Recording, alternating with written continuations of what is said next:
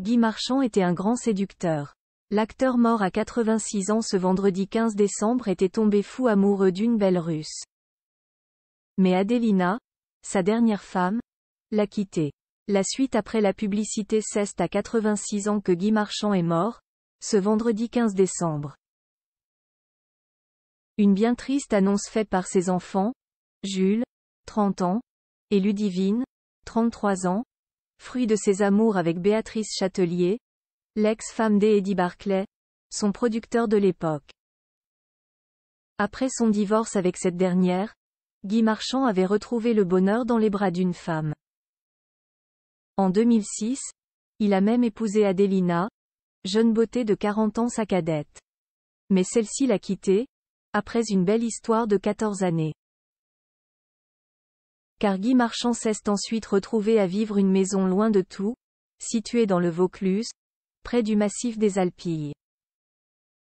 Une bâtisse éloignée de tout dans laquelle l'acteur a fini ses jours, et où son fils Jules et sa compagne vivaient près de lui. Jai grandit parmi les voyous de Belleville. Après, Jai suivit mes femmes. D'abord une belle bordelaise, qui m'a donné deux beaux enfants, Jules, et Ludivine. Deux cadeaux. Après Jai suivit une fille dans le midi qui aimait les chevaux comme moi. Et ensuite Jai vécut avec ma belle russe, mais elle est partie vivre à Berlin, confiait Guy Marchand aux Parisiens. Guy Marchand foud et Adelina, elle est la femme de ma vie la belle russe, il s'agissait bien entendu des Adelina Kamaganova, sa dernière femme. Elle a 40 ans de moins. Je ne vais pas l'emmerder. C'est fini Tout ça. C'est ce qu'il y a de plus dur dans le fait de vieillir. Quoi de plus beau qu'une femme à la surface de la Terre? Estimée alors elle interprète du tube destiné. Déjà en novembre 2020, l'acteur vu dans les plus grands films, comme Garde à vue pour ne citer que lui, s'était confié sur la fin de son histoire d'amour avec Adelina.